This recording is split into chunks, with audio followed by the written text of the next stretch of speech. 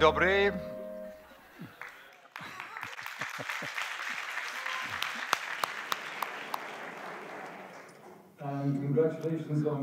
Gratuluję za to, że udało się dotrzeć tutaj w piątek. Jestem naprawdę pod wrażeniem tego, że wszyscy siedzą tutaj, skupiają się, słuchają, są zainteresowani. Dobrze, w takim razie zobaczymy, z kim w ogóle ja tutaj mam do czynienia. Kto z Was tutaj słyszał o mapach myśli o Mind Maps? Super. Kto z Was e, sam wykonuje e, te mind, mind mapy, te mapy myśli, tą metodę? Dobrze. A kto z Was cały czas, czyli już od dawna posługuje się tą metodą? Dobrze, także dziękuję za szczerość, dlatego że bardzo wiele osób kiedyś tam raz czy drugi skorzystało z tych map myśli, a potem nie kontynuowało tego zwyczaju, bo może z jakiegoś powodu coś tam wam nie pasowało w tej metodzie, niektórym z was, więc ja teraz właśnie się będę troszkę próbował z wami razem zastanowić dlaczego. Kto z was jest ze świata nauki, naukowców? Mamy? Nie naukowcy? Dobra, czyli prawie wszyscy to jednak nie naukowcy. Kto tutaj z Państwa to poeci? Poeta, poetka, poeci? Nie, ktoś tam jest. Nie poeci? Dobra, super. Kto jest tutaj ze świata artystycznego, artyści? Mamy z siedem osób, artystów. Dobra. Nie artyści? Nie artyści. Dobrze. A osoby, które lubią śnić na jawie, mają taki zwyczaj, śnić na jawie. Coś tam, no, prawie wszyscy chyba. W szkole, na uniwerku, mm, śnienie na jawie, to co robimy w czasie, w czasie wykładu, w czasie lekcji. To jest dobre czy złe? Postrzegać to jako zły zwyczaj, tak? Nie wolno śnić na jawie. Czyli wiemy, że ta grupa generalnie tutaj mamy kilkaset osób, powiedzmy. Nie mamy tu poetów, nie mamy tu artystów wśród nas. Czy tam jednego poetę, dobra. Generalnie 99,333% to nie poeci. Nie artyści, nie naukowcy tak za bardzo.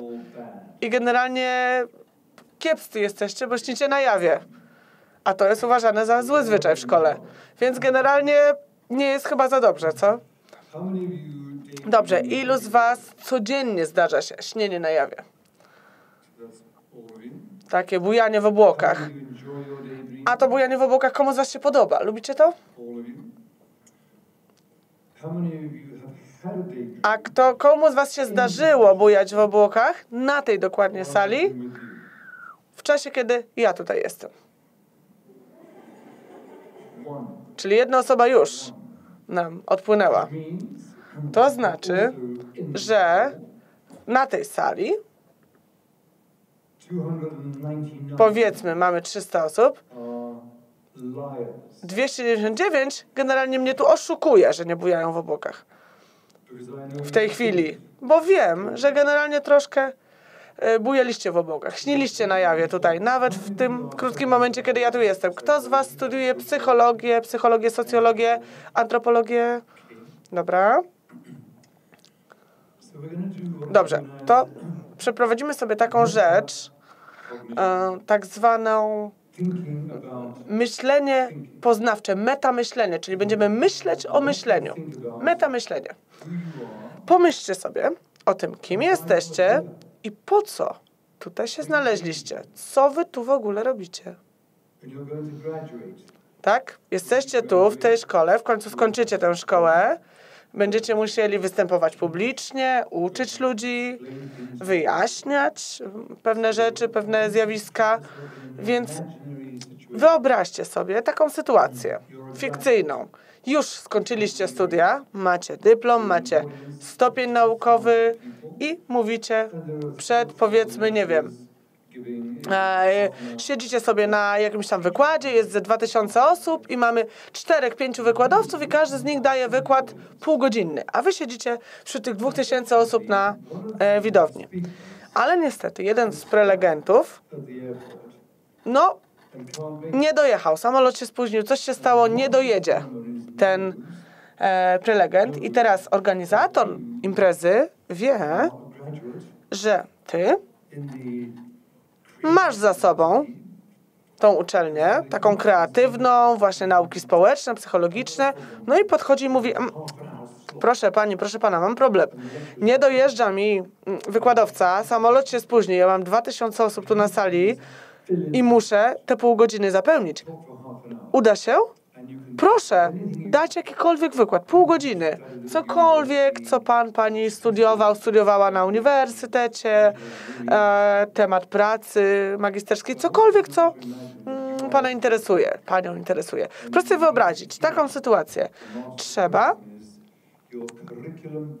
dać szybciutko swoje CV organizatorom. E, powiedzieć jakby o czym będziemy mówić i jakie mamy, jakie mamy doświadczenie. Można mm, w tym momencie w dowolnym języku mówić. Proszę sobie wyobrazić, że ten organizator w ogóle mówi stoma językami, więc w jakimkolwiek języku. Trzeba szybko coś o sobie powiedzieć, tak? Podsumować tą swoją mm, karierę naukową, zawodową, takie CV. Więc proszę to podsumować, proszę podsumować siebie, jakby, powiedzieć e, to temu organizatorowi i on Państwa przedstawi i wtedy Państwo mówią, tak, jest te pół godziny na wykład. Pan Roman mnie przedstawił. No to proszę, w taki sam sposób sprawdzić siebie. 4-5 minut daję na takie podsumowanie sobie wewnętrznie, kim ja jestem. Takie swoje własne CV, podsumowuję swoją osobę, żeby ktoś, tak jak mnie Pan Roman, mógł potem Państwa przedstawić przed wykładem.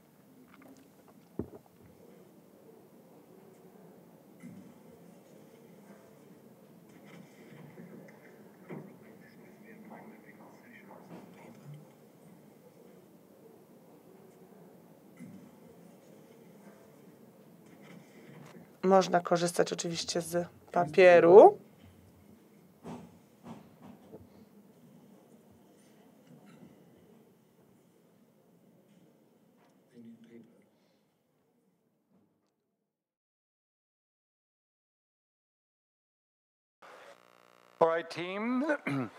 Dobrze, moi drodzy, to poproszę teraz o przedstawienie się do osoby, z którą, koło której siedzicie, do sąsiada, na podstawie swoich notatek, tak? Więc proszę wyjaśnić osobie obok, e, kim z kim przyszliście, dwie minutki, e, bo w, do, w stronę się trzeba przedstawić. Czyli na podstawie notatek, kim ja jestem.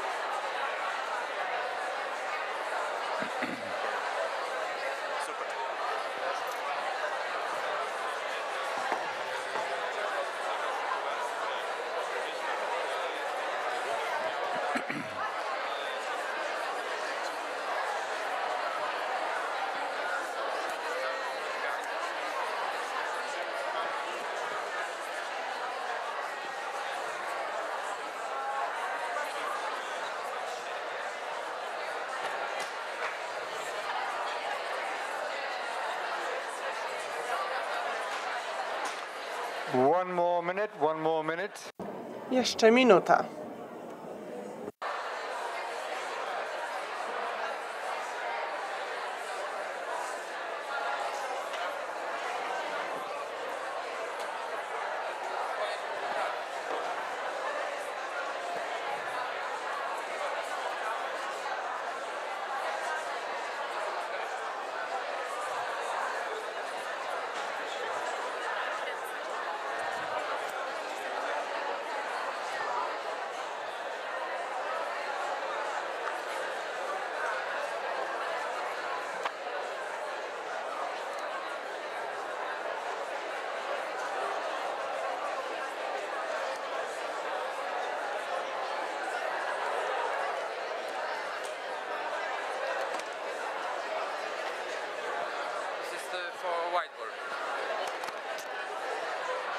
Thank you. You need flip chart, the paper, or No, that's fine. fine?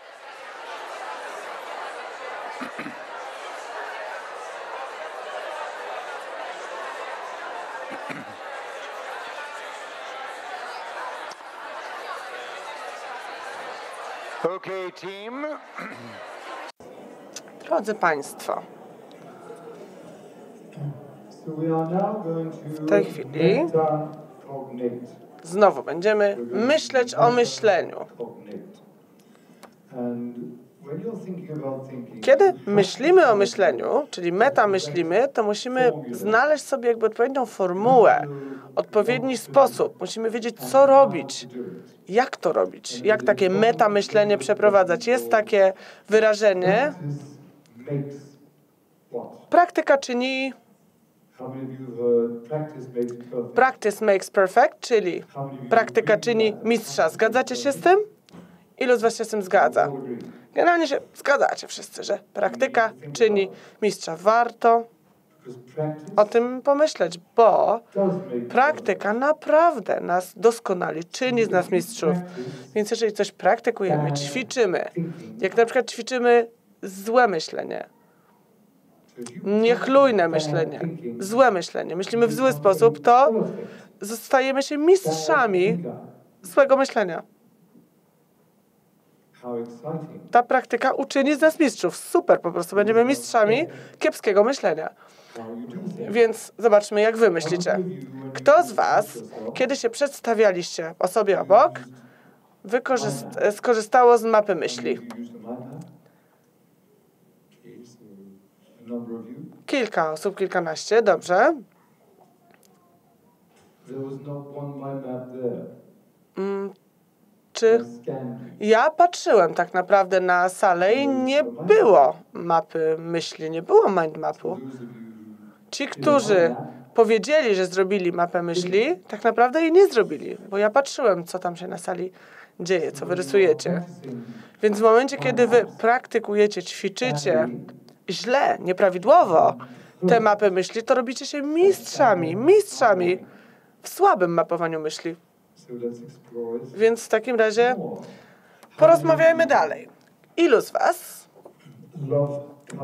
uwielbia kolory? Rączki do góry, trzymajcie łapki w górze i popatrzcie, tak? Wszyscy właściwie uwielbiają, lubią kolory. Ciekawe, dlatego że praktycznie wszyscy twierdzili, że nie są artystami, a jednak te kolory są wam bliskie. Kto z was wykorzystał dwa albo więcej kolorów podczas tego ćwiczenia, podczas robienia notatek o sobie? Ze trzy osoby skorzystały z większej ilości kolorów. A jeden kolor kto wykorzystał? Taram. And it was you A to tak naprawdę wy, wy to zrobiliście, tak? Nie to, że ktoś wam kazał.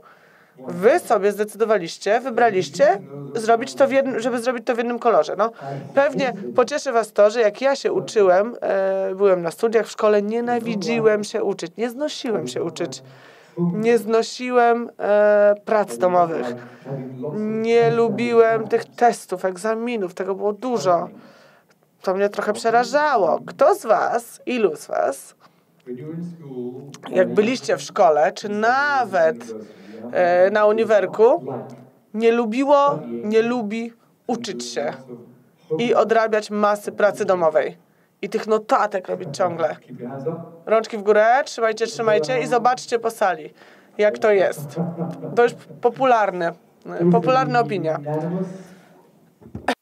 So why? Czyli jednogłośnie, jeszcze stwierdzili, że nie lubicie się uczyć.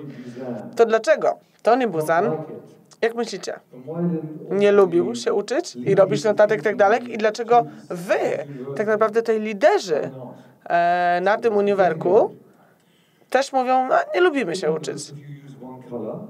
W swoich notatkach, jak wykorzystaliście jeden kolor, jaki kolor w szkołach, na uczelniach w Polsce i na całym świecie jest takim kolorem dominującym? Powiedzmy dwa dominujące kolory robienia notatek. W szkole, w Polsce i na całym świecie. Na czarno i na niebiesko I na trzecim miejscu szary się plasuje. Wiem, że wy nie jesteście naukowcami, ale w nauce nauka mówi nam, że e, nasz mózg otrzymuje, odbiera fale, fale dźwiękowe, fale świe, świetlne i jakoś tam sobie te fale przerabia. Kolor jest tak naprawdę jedną taką e, falą. Jest jakby taka sama, jest monotonny, monochromatyczny. To jest jeden kolor, jeden ton, czyli mono, ton, monotonny. Jak połączymy mono, jeden, z ton, odcień, to mamy monotonny. Monotonny. Jednokolorowy, czyli monotonny. Jeżeli coś jest naprawdę monotonne, to jak się, jak się opisuje to? Jaki jest synonim? Na całym świecie takie słowo, gdzie się opisuje coś, co jest monotonne. Jedno potoczne słowo. Znaliście to słowo. Znacie to słówko. Powiedzieliście wszyscy boring, czyli nudny. Nudne. Chociaż wszyscy jesteście różnymi ludźmi bardzo. Ale mózgi wasze działają jakby według tej samej zasady. I to, co monotonne, odbierane jest przez wasze mózgi jako nudne. A teraz pomyślmy dalej. Jak jesteście znudzeni, to co ten wasz mózg robi w czasie naprawdę jakiejś nudy takiej? Buja w obłokach, to tak zwane śnienie na jawie, wyłączanie się, to wyłączanie się, tak? Odpływamy, wyłączamy się. Zamykamy ten nasz mózg na nowe rzeczy. Mózg zasypia, drzemie sobie. I teraz na całym świecie, jak się udacie do bibliotek uniwersyteckich, wszelkie uniwersytety na całym świecie, ich biblioteki, jak wejdziecie tam do tych bibliotek i popatrzycie na ludzi, którzy się uczą, to co połowa z tych ludzi, którzy się uczą w tych bibliotekach, co połowa z nich robi? Śpią. Śpią w tych bibliotekach. To jest tak naprawdę taka publiczna sypialnia. Na całym świecie takich publicznych sypialni jest dużo. W szkolnych, w uniwersyteckich bibliotekach ludzie sobie śpią. A jak mózg się wyłączy, odpłynie, zamknie się na bodźce z zewnątrz, to tak naprawdę ten mózg jest ciągle, jakby postępuje inteligentnie, bo stwierdził, że traci czas swój. Więc mózg jako inteligentny narząd mówi, to jest nudne, ja się wyłączam, to jest strata czasu. I dlatego to uczenie wam się nie podobało. To monotonne, monochromatyczne uczenie się wam nie podobało waszemu mózgowi. Kolor zmienia sposób, w jaki nasz mózg działa. Kolor pobudza ten mózg, nakręca go do działania, jakby włącza go z powrotem. Budzi nas. Kolor to właśnie czyni z naszym mózgiem. Ale mimo wszystko większość z was nosi przy sobie długopis, flamaster, coś, tylko jeden, tylko jeden kolor. Dlaczego? Dlaczego by? Nie. Na przykład ja, co ja robię? Ja mam to. To wszystko mam ze sobą. Zawsze. Ilu z was ma przy sobie... E, ilu z was czytało Harry'ego Pottera? No proszę. Harry Potter ma moc. Za pomocą tej mocy on może kontrolować przedmioty czy jakichś tam ludzi. Jak on to robi? Czym? Czym on kontroluje? On ma różdżkę, prawda? Ma różdżkę. I tą różdżką kontroluje różne rzeczy, różne sytuacje. Teraz wyobraźcie sobie, że ja mam różdżkę i mogę zrobić tak I nagle komuś podnoszę iloraz inteligencji, to IQ. Taką moją różdżką. O 20 punktów powiedzmy. Albo mogę zrobić puch i komuś na przykład pamięć się poprawia, albo robię bang bang po całej sali i w ogóle wszystkim kreatywność, innowacyjność, ciach, rośnie od razu. I mózg i ciało zaczynają się integrować ze sobą. Jak myślicie? Chcielibyście mieć? Ilu z Was? Lepsze IQ, lepszą pamięć, lepszą integrację pomiędzy mózgiem a ciałem, lepszą kreatywność, innowacyjność? Kto? No wszyscy. Dobra, i to jest ta moja różdżka. Kolory.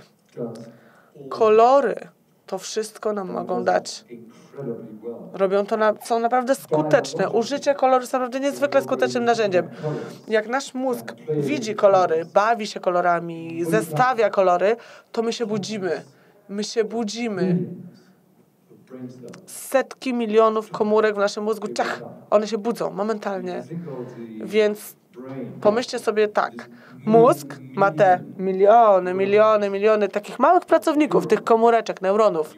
To są tacy pracownicy nasi mali. I my ich mamy w tej głowie. Budzimy się rano. I co? Powiedzmy, że mamy 300 milionów takich pracowników. I one są jakby połączone. Odbierają kolory. I mówimy, wiecie co? Ja i tak was potraktuję jednym kolorem, moi kochani pracownicy. 300 million say, I te 300 milionów mówi, super szefie, dzięki. To my w takim razie nie wstaniemy dzisiaj. Nie obudzimy się. I tak to jest z naszym mózgiem. Ci nasi pracownicy czasami się nie budzą tak porządnie. Więc teraz chcę, żebyście przez chwilę porozmawiali między sobą, z sąsiadami, jakie są zalety, kiedy używamy wielu kolorów w notatkach. Co z tego może wyjść? Jak w tych swoich mind mapach, mapach myśli użyjecie wielu kolorów. Co te kolory nam pomogą zrobić lepiej? Zbierzcie się w takie grupki, 4-5 osób i naprawdę pogadajcie sobie tak konkretnie, co dzięki tym kolorom, robiąc te nasze notatki, te nasze mapy myśli, możemy zacząć robić lepiej.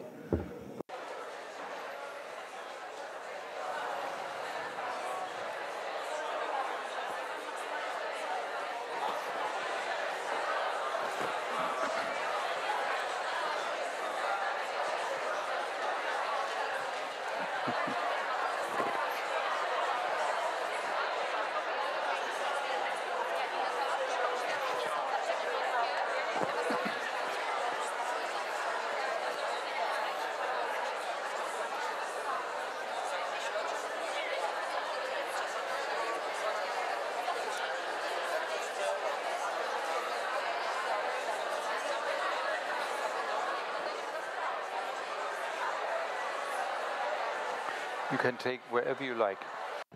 You can go here, you can follow me, anywhere. She she can take photographs wherever she wants, as many as possible, and really creative.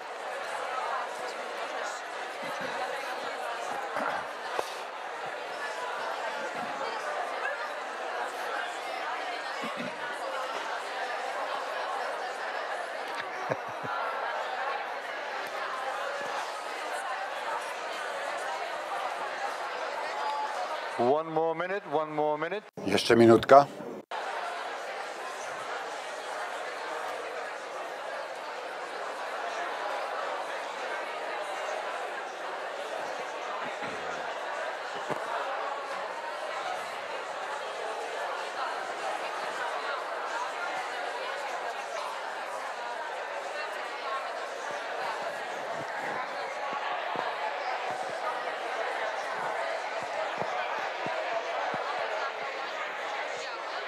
Our team, our team is very well dressed.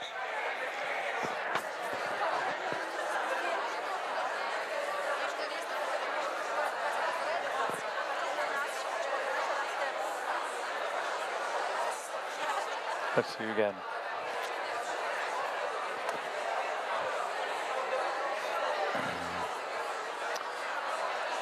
Okay, team. Halo, halo. So let me rattle off and make a note of what color does. E, Podsumujmy to, do czego się przydaje kolor. Pamięć. Pamięć polega na przywołaniu. To wzmacnia pamięć krótkoterminową, średnioterminową i długoterminową.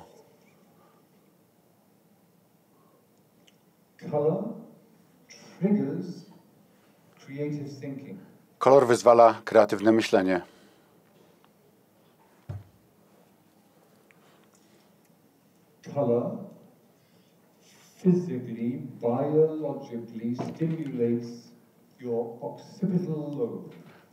Kolor e, occipital lobe. naturalnie i fizjologicznie stymuluje e, tę strefę mózgu e, z tyłu głowy, która odpowiada za widzenie. a także stymuluje połączenia z innymi komórkami nerwowymi e, w mózgu. Kolor ogranicza stres. How many of you in university feel overloaded, information overloaded? Ilu z Was na studiach objawiało się przeładowania informacjami, przemęczeniem? Ile z Was czuło stres? Wszyscy z Was. perfectly how to be stressed. Inaczej mówiąc, znakomiście e, ćwiczyliście się w tym, jak odczuwać stres i znakomicie sobie radziliście. I w, przybywało stresu i tym samym uczyliście się coraz lepiej, jak źle myśleć, jak źle pracować. E, Byliście coraz lepsi w takim kiepskim myśleniu bezbarwnym. Zyskiwaliście bezbarwne osobowości. I tą drogą staniecie się dokładnie, doskonale bezbarwni. Jest inny sposób opisu tego, jak można się pozbawić się widzenia, oślepić. I właśnie tym się zajmujecie, to e, ćwiczycie, Ponieważ kolory pomagają ożywić wizję, widzenie.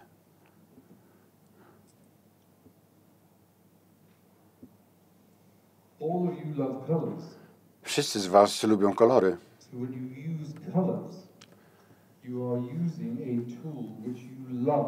A więc używając kolorów, używacie narzędzia, które lubicie, które się Wam podoba. A wtedy, kiedy się e, coś lubi, rises. e, natychmiast poprawia się zdolność uczenia. Jeżeli lubi się kogoś, e, na czym się skupiamy wtedy?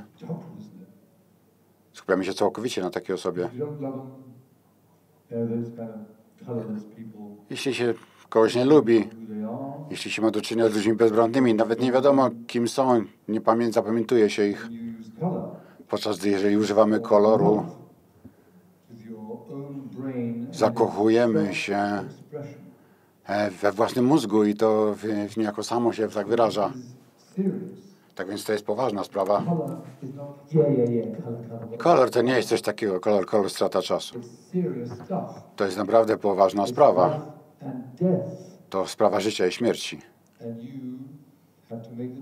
I to do Was należy decyzja.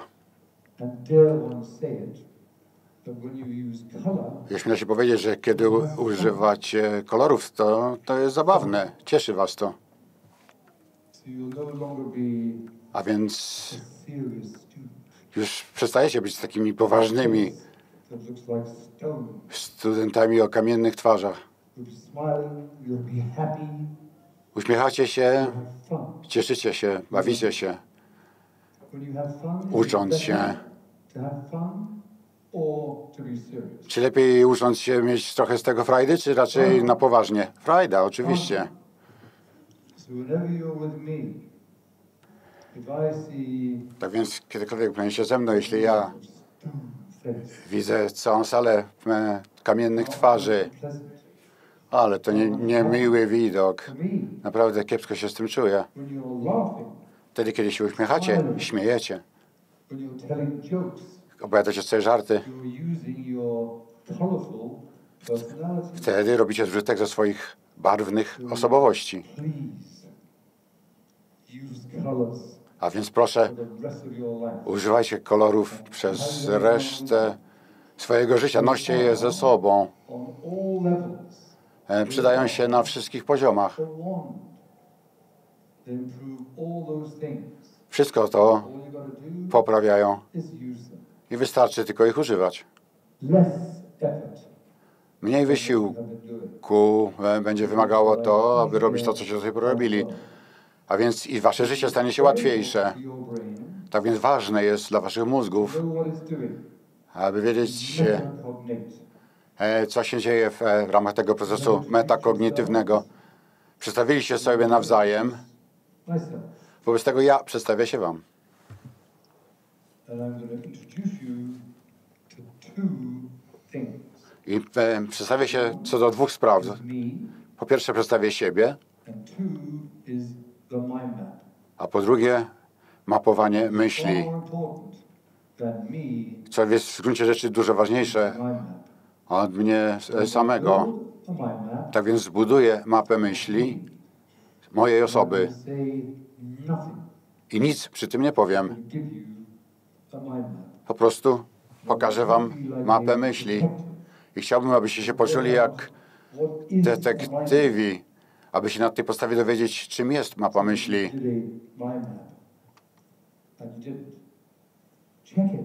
Sprawdźcie, co to jest, bowiem wiele z was nie wiedziało, co to jest. aby nauczyć się robić dobry użytek ze swojego mózgu.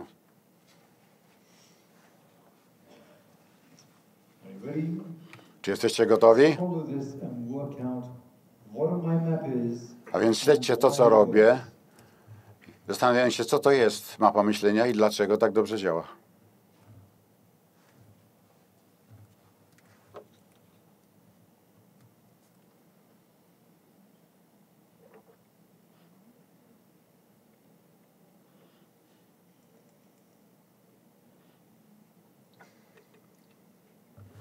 And already you can see I widać już, jest pewien przepis, pewien, e, pewna formuła, która zawsze się sprawdza, zawsze działa w ten sam sposób, e, ponieważ wykorzystuje em, prawa, na których jest, się zasadza i wszystkie moje mapy myślowe, myślenia powstają w ten sam sposób, nawet jeżeli dotyczą różnych przedmiotów.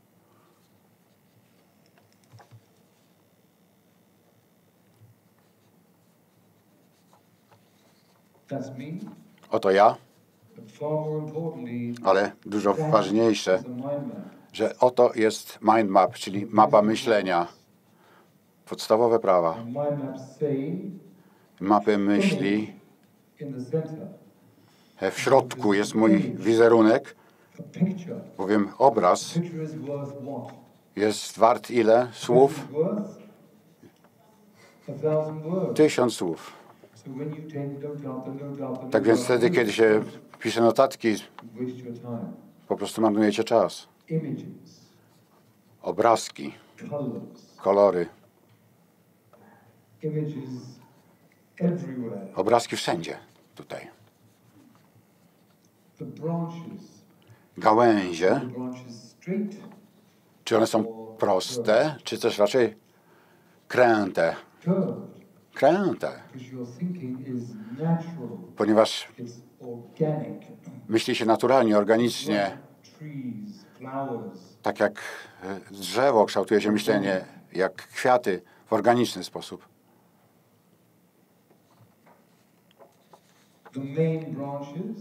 Główne gałęzie, konary, have big key words. Opisane są dużymi literami, podstawowymi słowami kluczowymi. W środku ten obrazek i to są konary, moje konory, ale e, tworzą one rodzinę gałęzi. Inna e, gałęź to może być zainteresowania, moje cele. Moja e, wizja życia. Kolejna gałąź to może być e, działania fizyczne. Kolejna moi przyjaciele, a także moi wrogowie na następnej gałęzi. Następna gałęź to największe błędy, które do tej pory popełniłem. Z Was popełniło duże, poważne błędy do tej pory w życiu? Świetnie. Tak jest. Kiedy e, popełniamy błędy, uczymy się na błędach. Tak więc chcę, abyście teraz zrobili ponownie to samo ćwiczenie, czyli przedstawili siebie samych, ale w inteligentny sposób, korzystając z waszej niebywałej inteligencji, ponieważ w swojej drodze życiowej jesteście gotowi do, aby kończyć e, szkołę, przystępować do pracy i realizować samych siebie samych. I będziecie rozsyłać e, CVs, e, życiorysy w stosach, ale gdybyście wysłali dobrą mapę myślenia, prawdopodobieństwo zyskania e, obiecującego wywiadu zatrudnienia jest większe, a więc macie 5 minut, aby sporządzić dobrą mapę myślenia, mind map, tego, kim jesteście. Zaczynamy, 5 minut. You have to use them very, very gently because the, uh, the nibs are, are fine. Yeah, choose five.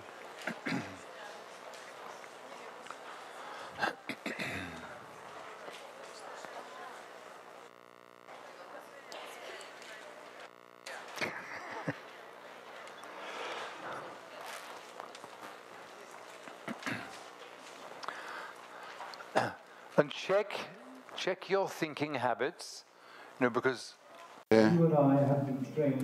Porzućcie nawyki myślowe, ponieważ zarówno wy, jak i ja byliśmy uczeni myśleć słowami, czyli inaczej mówiąc e, na czarno.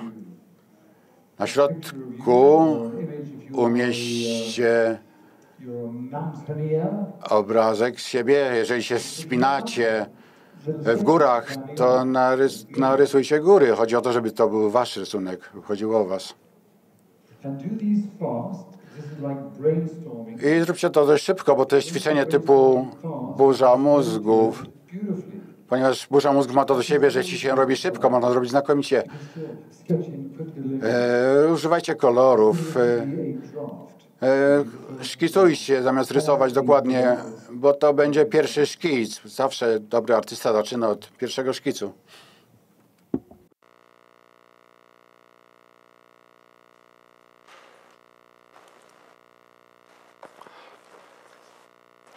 well done, team. Dobrze zaczęliście. Jeżeli wasz sąsiad robi tak, jak należy, e, co? Naśladujcie go, kopiujcie go. Kopiujcie, naśladujcie. Naśladujcie dobre praktyki. Nie chodzi oczywiście o kopiowanie słów, naśladowanie słów, ale styl rysowania, kolory poszczególnych gałęzi, a także w dobre, mocne słowa kluczowe. Kopiujcie raczej e, styl, w jaki e, sporządzają mapy wasi sąsiedzi niż ich treść. Dobry początek.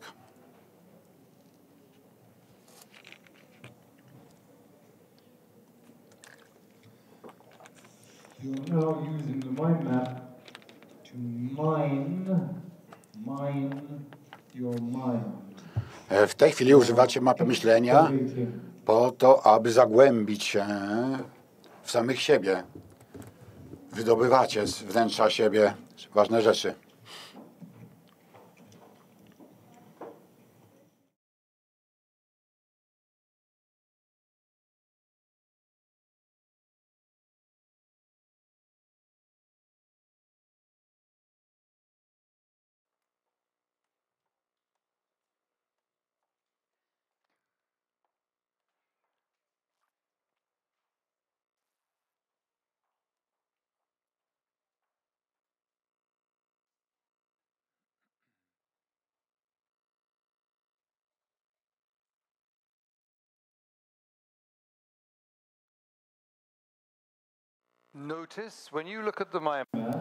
Zwróćcie uwagę, że e,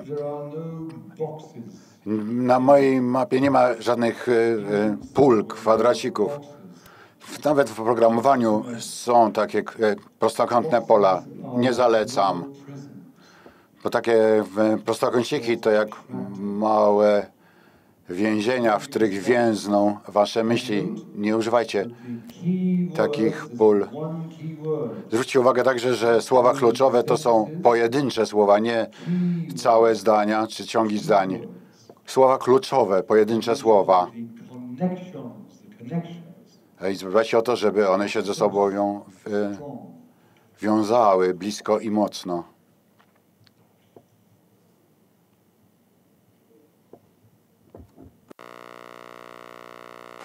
One of the common expressions is. E, Myślicie, mówisz o tym, że myślcie nie szablonowo. Myślcie wtedy, kiedy się korzysta z takich właśnie pudełek, z takich okienek, e, samemu się e, ustawia takie bloki myślowe, które blokują myślenie, blokują także pisanie, więc lepiej nie używać takich prostokątnych okienek na tekst.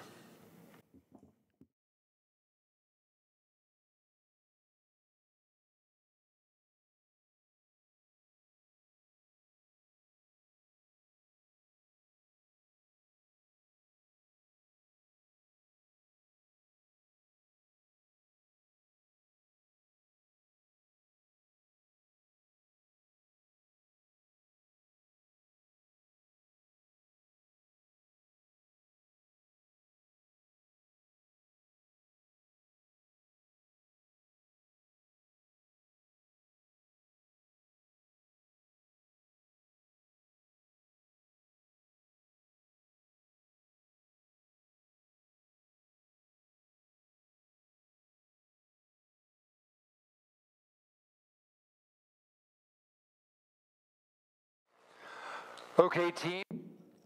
Uwaga, uwaga. Abyście w tych samych parach, co przedtem, ponownie przedstawili się sobie nawzajem. the First one next to it, and look at what you did in one hour ago, and what you have just done.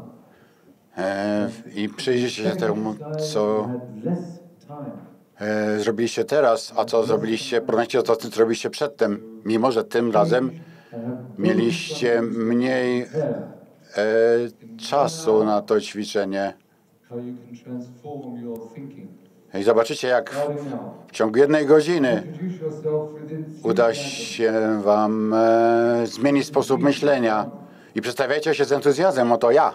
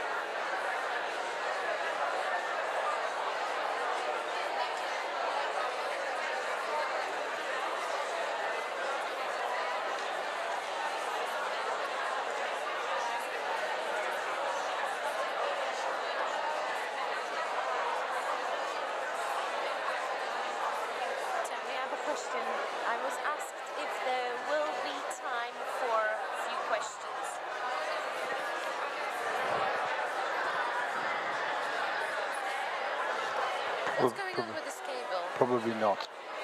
Pardon? Probably not. Probably not. 'Cause we're gonna. Maybe, maybe one or two? No? If it's a good question. Two.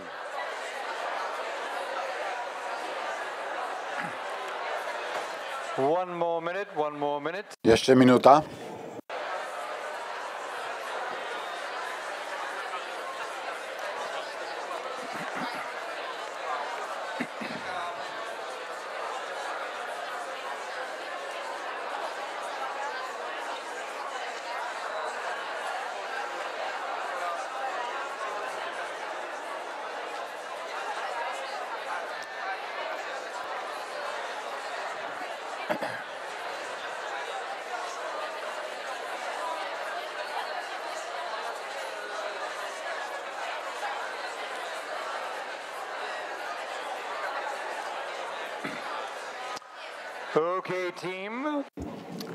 Uwaga, uwaga.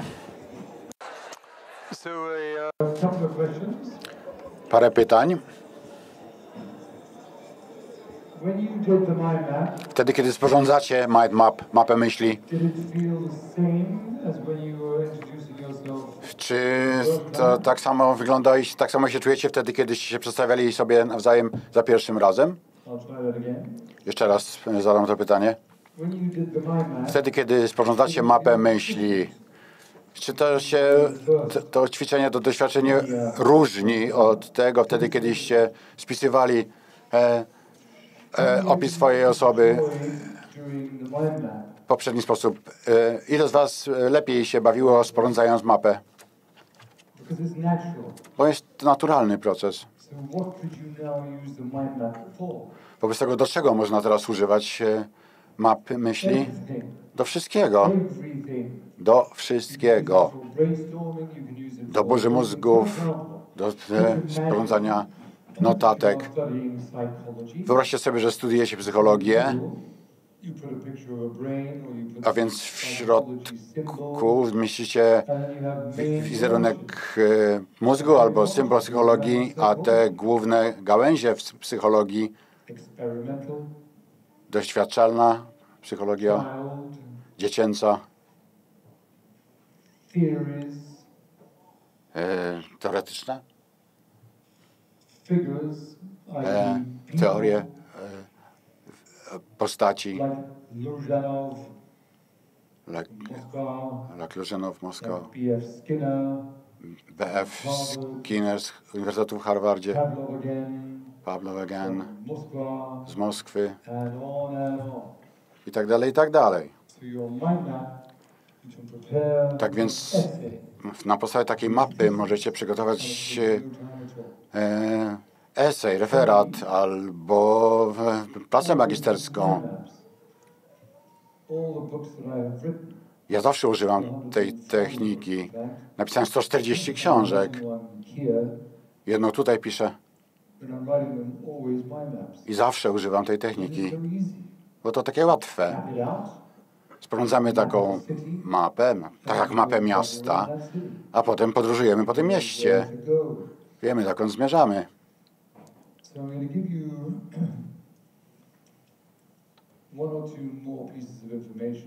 Kolejne parę informacji po to, abyście jeszcze lepiej korzystali ze swojego mózgu, umysłu. Mówiliśmy o bibliotece, o uniwersytetach. no.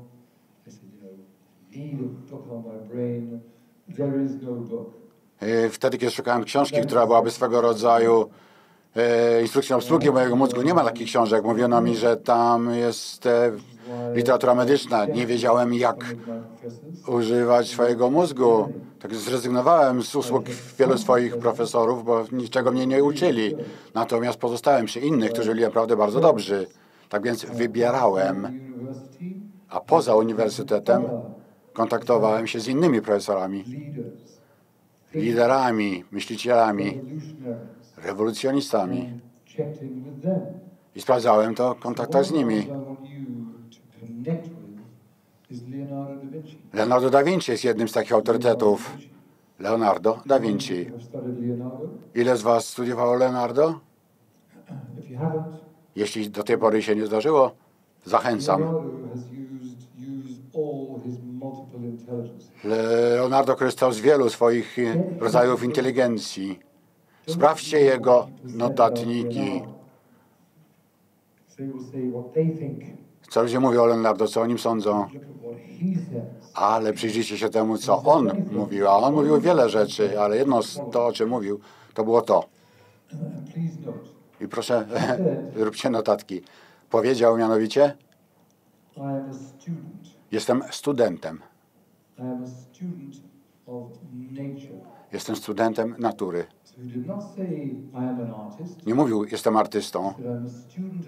Powiedział, że badam naturę, studiuję naturę, uczę się natury, on kochał naturę. Ile z was kocha naturę? Wszyscy. Tak właśnie działa nasz mózg. Kochacie przyrodę, naturę. I Leonardo da Vinci nie tylko kochał przyrodę, on był uczniem przyrody, był uczniem natury. On się uczył od niej, on się uczył z niej. I mówił, że ludzie patrzą na wiele rzeczy, ale tak naprawdę nie widzą. Słuchają, ale nie słyszą. Jedzą, ale nie czują smaku. Dotykają, ale tak naprawdę nie czują tego do końca. Mówią, ale nie myślą. Tak mówił Leonardo. I powiedział: Ja jestem uczniem przyrody, natury. Kolejna rzecz. Mówił: Ja obserwuję ją. Ją, naturę, przyrodę jako matkę. Czyli studiuję naturę, uczę się od natury, od przyrody, obserwuję ją i potem analizuję ją. Czyli studiuję, badam i analizuję naturę, a potem kopiuję ją. Kopiuję. Kopiowanie to jest tak naprawdę główny. Mm, główny nasz jakby kanał dostępu do wszelkiego rodzaju wiedzy, do wszystkiego rodzaju myślenia, do nauki. Więc ja bym chciał, żebyście wy robili tak, jak radzi Leonardo. Studiujcie naturę, uczcie się, badajcie, analizujcie naturę i kopiujcie to, co widzicie w naturze. I teraz na swoich kartkach. Chcę, żebyście narysowali, choć nie jesteście artystami, ale i tak proszę, żebyście narysowali motyla. Możecie tego motyla narysować. Możecie go, musicie go jakoś skopiować, tak? Z tego, co znacie z natury, z mózgu swojego. Bo macie jakąś tam e, w mózgu zapisany, jak wygląda motyl. Możecie go skopiować z mózgu, z tego co pamiętacie, co wiecie, co sobie wyobrażacie. Możecie w internecie sobie poszukać e, motyla i skopiować go z internetu, ale skopiujcie. Jak najlepiej, skopiujcie takiego motyla. Tu mamy też motyle na plakacie. Jeżeli ktoś obok was widzicie, że super, e, fajnie tego motyla rysuje, to też spróbujcie skopiować osobę, która siedzi obok. Czyli znowu, nie jesteście artystami i powiedzieliście to otwarcie, ale po prostu studiujcie, uczcie się z natury i skopiujcie, przeanalizujcie oczywiście. Nie róbcie tego niedbale, tylko poanalizujcie, zastanówcie się trochę, właśnie przeanalizujcie, a dopiero potem skopiujcie. I skopiujcie to ze swojego mózgu, ze swojej wyobraźni, z mózgu, który tak naprawdę jest taką biblioteką pamięci wzrokowej. Macie obrazy w mózgu schowane, jak w bibliotece, mm, przechowywane. Skopiujcie stamtąd. I rysując tego motyla, niech on będzie na oddzielnej stronie, nie na tym, co było w poprzednich notatkach, tam gdzie jednym kolorem pisaliście. Nie, oddzielna kartka. Od, motyl ma być na oddzielnej kartce, nie gdzieś w rogu, malutki, tam gdzie inne notatki były. Nie oszczędzajcie papieru. Oszczędzajcie swój mózg i rób, Ułatwiajcie mu życie, nie oszczędzajcie papieru.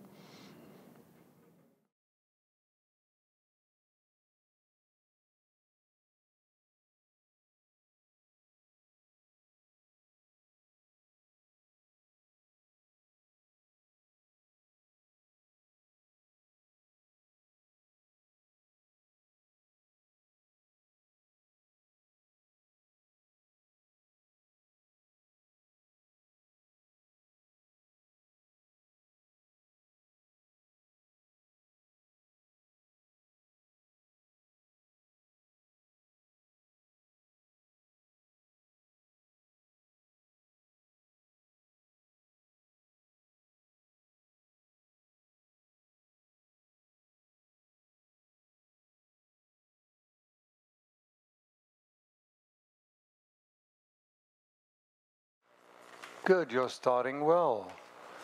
Zaczynacie dobrze. Copy it.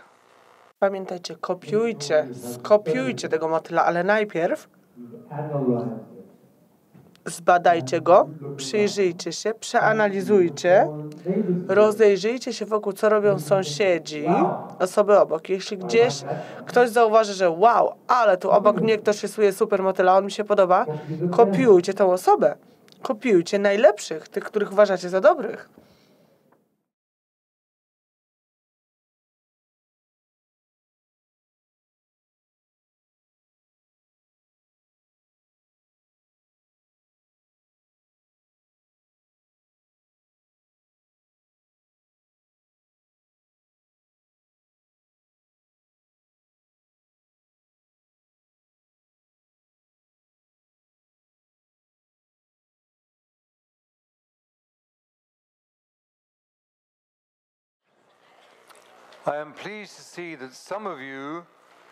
Z przyjemnością obserwuję, że niektórzy skończyli jednego motyla, jeszcze zrobili jeszcze jednego, jeszcze jednego, jeszcze jednego.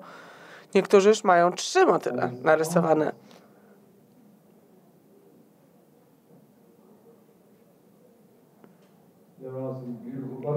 I widzę tutaj całkiem ładne motyle, naprawdę nam się zaczynają pojawiać.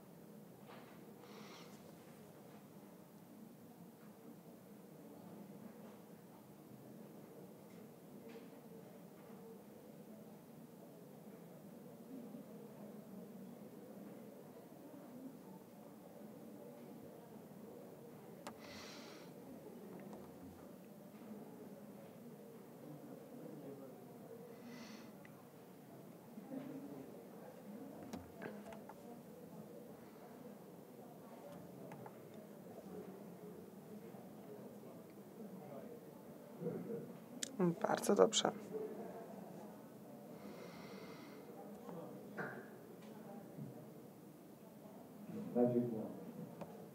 Magiczna różdżka.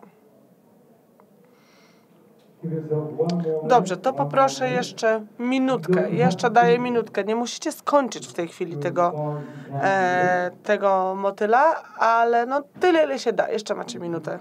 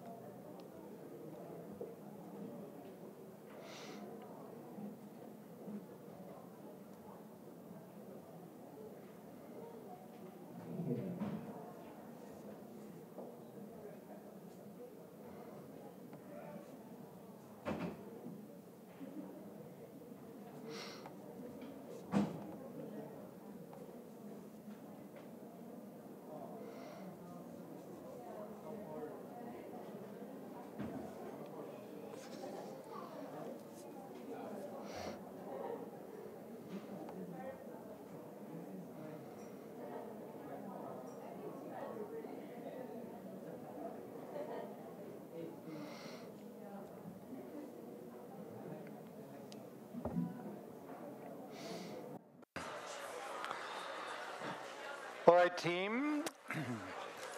Dobrze, moi drodzy.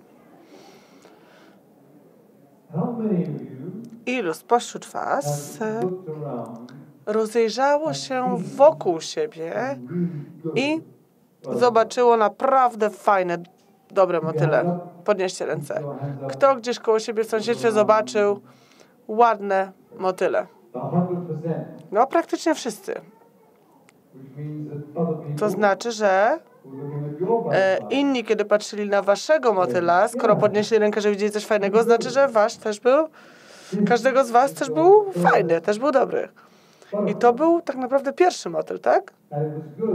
Pierwszy motyl wyszedł dobrze. A tak naprawdę stosowaliście metodę Leonardo da Vinci. Każdy mózg, mózg każdego człowieka z natury jest artystycznym. Z natury jest artystą, e, ale tylko jeśli mamy odpowiedni proces, odpowiedni wzór, przepis pracy. Czyli to, co mówił Leonardo da Vinci. Jeżeli robimy to, co on mówił, to będziemy artystami, bo nasz mózg jest po prostu naturalnie tak zbudowany. Czyli musimy stosować tą jego receptę. Więc chcę, żebyście naprawdę pokazali się teraz do kamery ładnie.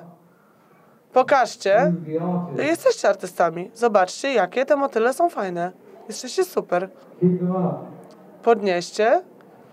Tak, żeby kamera je złapała.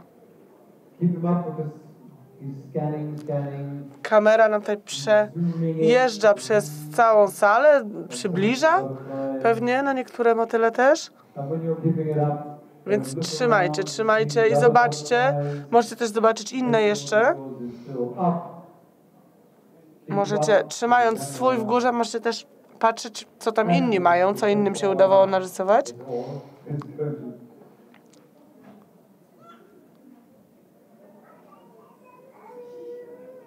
Team.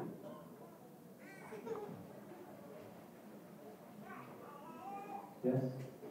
Dobrze.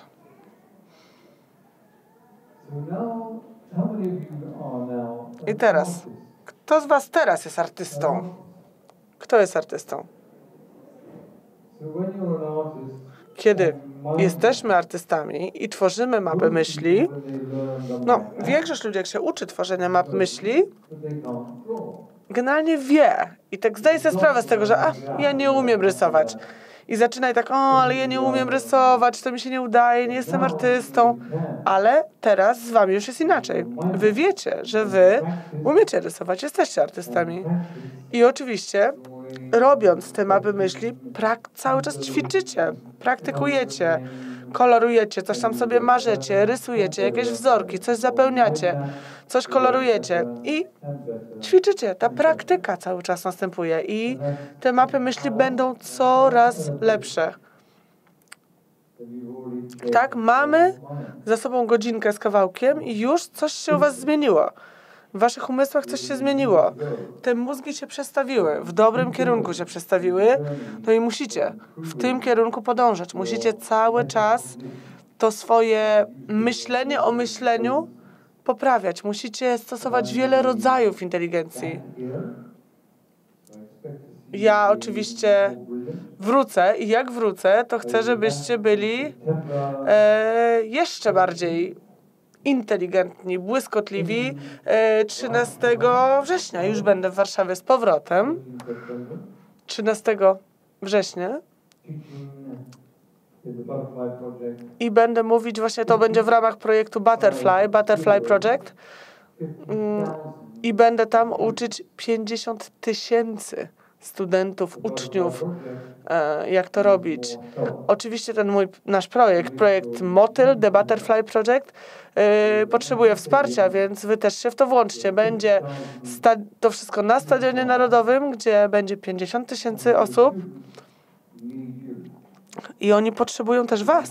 Ci, którzy przyjdą na ten stadion, potrzebują waszej pomocy, bo oni się będą uczyć mapy myśli, będą robić podobne błędy, które wyście popełniali, więc e, idąc na stadion, przynieście te swoje mapy, przynieście te rysunki, zobaczcie, mogę ci, zobacz, mogę ci pomóc, zobacz jaki motyl, pomogę ci, wesprę cię, dam ci radę, zainspiruję cię, bo to o to chodzi tak naprawdę, żeby pomóc każdemu uczniowi, studentowi e, pomóc tym ludziom, żeby oni nie byli tacy umysłowo wygłodniali, tacy mm, e, ciągle spragnieni czegoś.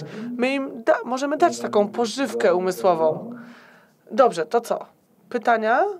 Jeśli są pytania, to jest czas.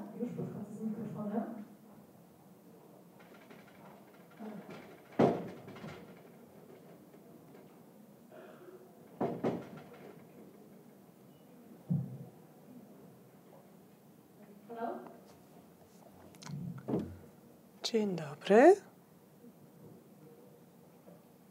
No? Nie ma pytań? Nie, jest pytanie. Miło mi Pana poznać, Panie Profesorze. Ja już wiele lat temu poznałam mapy myśli, e, jak się uczyłam i w ogóle bardzo korzystałam często z tej metody. Ta metoda bardzo mi pomogła również przy egzaminach, ale w tej chwili by mnie bardziej interesowała, interesował temat e, nauki w domu, tak zwanego homeschooling.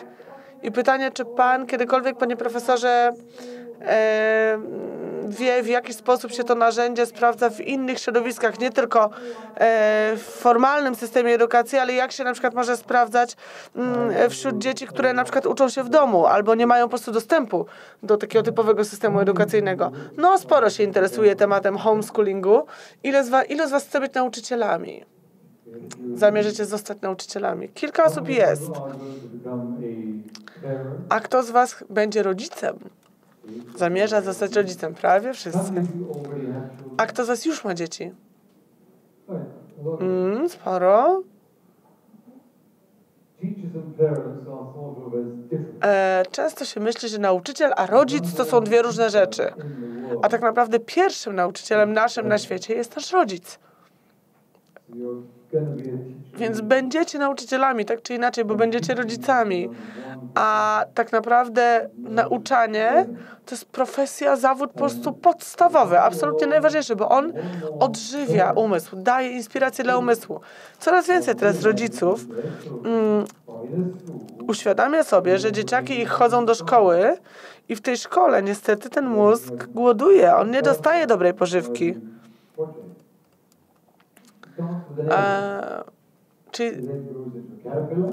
E, Zobaczcie, jak się rozwija motyl. Stąd w ogóle jest ta nazwa projekt Motyl. Najpierw mamy e, larwę, potem mamy kokon, potem z tego kokonu się rozwija i dopiero jest motyl. To, co widzimy na końcu. Pomyślcie, jak to jest z dzieciakami. Dzieci to też jest takie najpierw małe jajeczko, e, mała larwa i na początku już ciach, rozgniatamy. Rozgniatamy, niszczymy.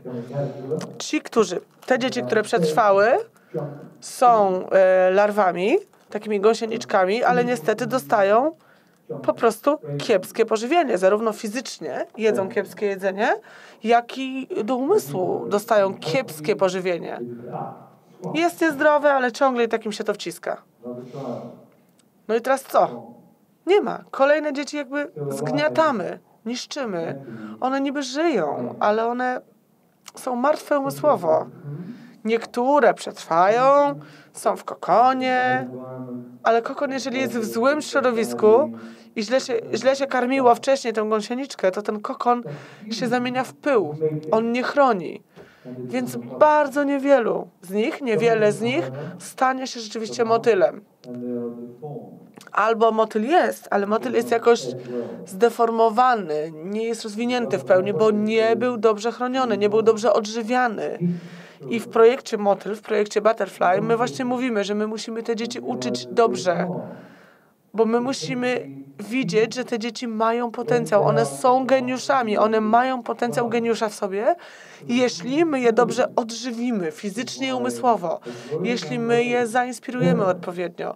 I teraz coraz więcej e, rodziców na całym świecie mówi: Ja wyciągam moje dziecko z tego systemu formalnego, edukacyjnego, bo ja chcę, żeby moje dziecko przetrwało, żeby go nie zgniatano. Razem z przyjaciółmi się dogadują. Na przykład, o, tutaj mój przyjaciel studiował chemię. Tu jakiś mój przyjaciół jest sportowcem, przyjaciel jest sportowcem. I jakby tworzą w ramach swoich przyjaciół, we własnym środowisku taki zespół nauczycieli. I, I razem z dziećmi tych swoich przyjaciół uczą te dzieci wspólnie, wspólnymi siłami. To jest w ogóle bardzo dobry pomysł. E, kie- Kiedy odkryjecie, że szkoła uczy źle, e, odkryjecie, że wasze dziecko chodzi do szkoły, która uczy nieprawidłowo, to to jest dobry pomysł. Więc naprawdę ta branża, można już powiedzieć w tej chwili, homeschoolingu, nauki domowej, rośnie, to się rozwija. Zresztą miło jest to obserwować, że coś takiego jest. To jest piękna sprawa. Jeszcze pytania? Dzień dobry. Profesorze, moje pytanie jest takie, czy stworzenie mapy myśli, jakbyśmy tworzyli w, komputerze, to byłoby to tak skuteczne, gdybyśmy to tworzyli, na, czy jak to tworzymy na papierze, czy, czy w jakimś oprogramowaniu na komputerze też? Słuchajcie, ważne pytanie. Oprogramowanie, czy ręcznie jednak? Czy w komputerze, czy ręcznie na papierze? Jak wam się wydaje?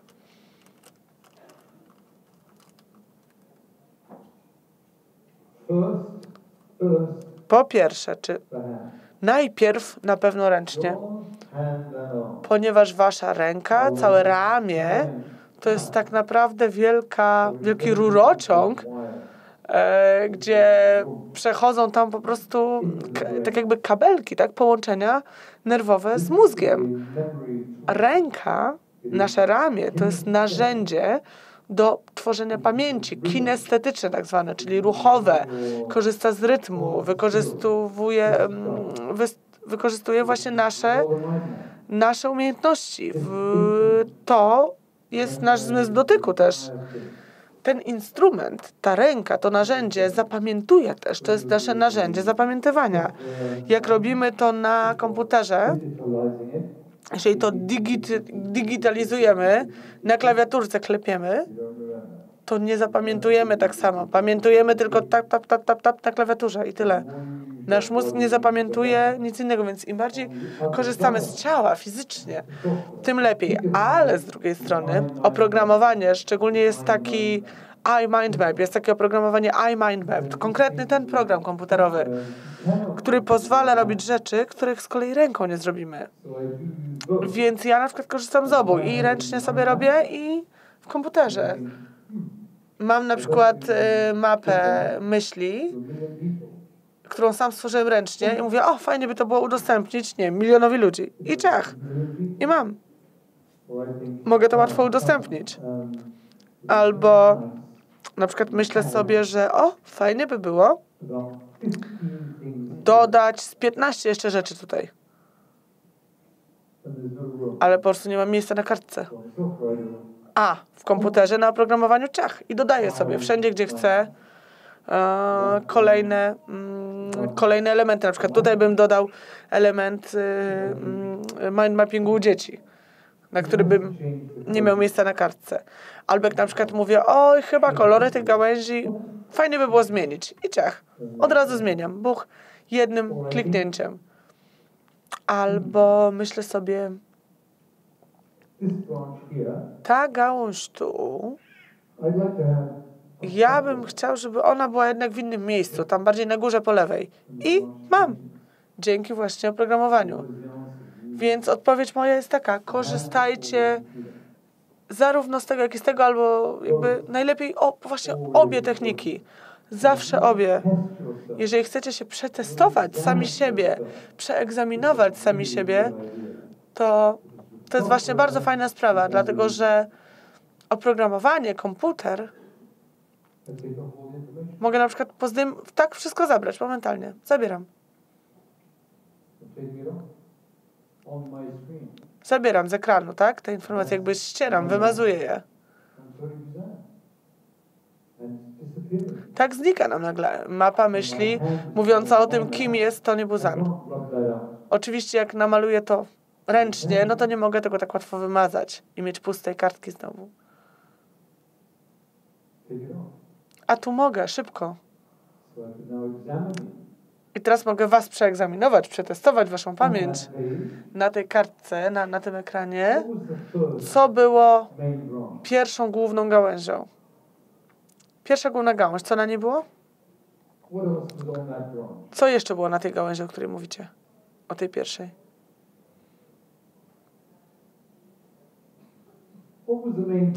A która, a ta jedna z głównych gałęzi tu po tej stronie, czyli troszkę po lewej na dole. Media. Tam było o mediach, coś, media. Był y, coś o sporcie? Gdzie było sportowa gałąź? Mhm. Ktoś mówi, że pomarańczowa.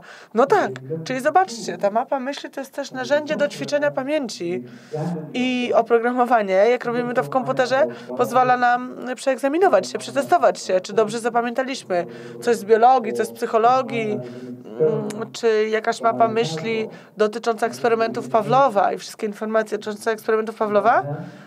Zrobimy to ręcznie, możemy to przenieść do mm, komputera i potem przetestować się, czy dobrze pamiętamy na przykład. Czyli ta mapa myśli staje się takim naszym przyjacielem, towarzyszem w życiu, e, którego mamy ze sobą. Fizycznie w komputerze mamy takie mapy, no i oczywiście w naszych mózgach, jeśli je dobrze zapamiętamy. Drodzy moi, dobrze. Kiedy wrócę, mam nadzieję, że e, będziemy w kontakcie, bo pięć lat temu powiedziano mi, że Twitter to jest takie coś fajnego. I ja wtedy powiedziałem, a, chyba, chyba nie, nie bardzo. Nie wydaje mi się. 3.25. E, jak się, nie wiem, czyta Twittera i ktoś mówi, że w ogóle o 4.20 czy o 12.15 poszedł do toalety, przecież to nie jest ciekawe. Co, co to w ogóle jest? Ale z drugiej strony sobie myślę, no nie, ale Twitter może być wykorzystany dobrze, jako mapa myśli, jako mind map, gdzie w środku tego wszystkiego jest nasz mózg i Twitter to są te różne gałęzie. I e, Twitter to jest 140 znaków, tylko w Twitcie można wpisać, czyli taki bardzo fajny rozmiar, tak? Tak jak malutki wierszyk tak naprawdę, który zawiera w sobie wszystko, co trzeba. I potem jak e, pójdziecie na e, moje konto na Twitterze, Tony podkreśnik Buzan, jak będziecie mnie obserwować na Twitterze i zatweetujecie jakąś ciekawą myśl albo jakąś fajną mapę myśli, to was zretweetuje, czyli jakby e, udostępnię waszego tweeta. I na, jak pójdziecie na mojego Twittera, to oczywiście nie, nie ma, ja nie umieszczam informacji, że nie wiem, tu idę umyć zęby, tu oglądam mecz, a tu w ogóle jest mój ulubiony, mm, mój ulubiony zespół futbolowy. Nie. Ja roz, bardziej informuję o tym, co moi studenci, na przykład z Meksyku, albo jakieś dziecko sześcioletnie z Japonii, co fajnego wymyśliło. Takie rzeczy na Twitterze udostępniam, albo na przykład informacje o wynikach badań nad mózgiem. Więc ja udostępniam tego typu rzeczy i oczywiście mam nadzieję, że już będziemy w kontakcie zawsze e, dzięki Twitterowi. Jesteście inteligentni, jesteście błyskotliwi, e, cieszcie się swoimi pięknymi motylami i wspierajcie projekt Motyl, The Butterfly Project. Ta broszura została stworzona, zaprojektowana przez wolontariuszy. Wszyscy to byli ludzie, którzy wyznają technikę mind mappingu, e, używają kolorów. I zobaczcie, wy też jesteście tutaj w tej broszurze. To nasze spotkanie też tu jest. Tutaj są przykłady map myśli, bardzo ładne właśnie motyle, które inni rysowali, piękne w ogóle obrazy, zdjęcia, które możecie wykorzystać u siebie na Twitterze, w pracach, w czasach egzaminów, w czasie egzaminów.